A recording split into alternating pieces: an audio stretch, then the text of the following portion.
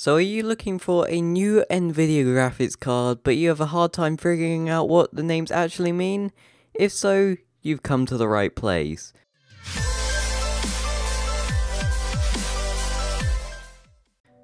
The GT series are low-end GPUs and will likely run Minecraft or CSGO at above 60 FPS. However, given the price of these cards, it wouldn't be surprising if they even hardly ran those titles. As for the GTS series, it should be pretty obvious given their prices, but these are far from optimal for an enjoyable gaming experience. At the time of their release, they were technically gaming GPUs, but they are now fading into the unknown due to their age. To prove my point, I found a GTS 450 on eBay for approximately £35. Not to mention it was manufactured by Gainward, a company that I and probably most of you have never even heard of before. If you're going for a gaming PC and want to be part of the green team, buy a GTX card. If you don't have enough of a budget, try and hold on to your sanity until you can afford one. But do not just buy any GTX card, you must pay attention to the 3 or 4 digit number that follows. So the first digit, or first two with Pascal, shows which architecture the GPU is using.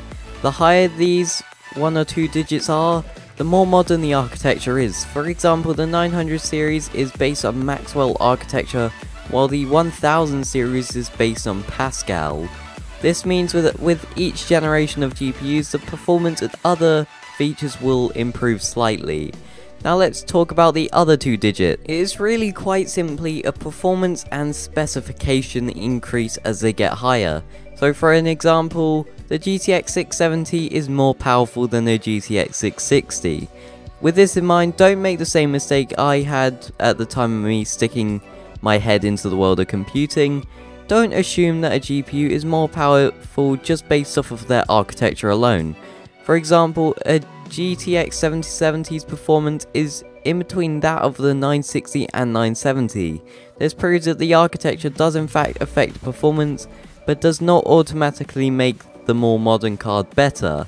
The same could be said between the GTX 690 and the 960, as the 690 is effectively a dual GPU, and it is a very powerful one at that.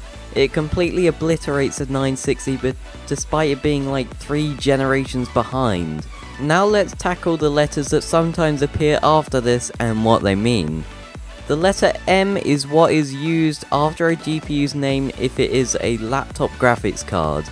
If it if a dedicated graphics card is inside your laptop, don't expect it to be as powerful as its desktop counterpart though, as it will have to compromise performance due to temperature and size constraints. In some cards you'll notice it says TI, and this stands for titanium. This generally means that this version of the GPU has more shaders and usually sees a 15% increase in performance.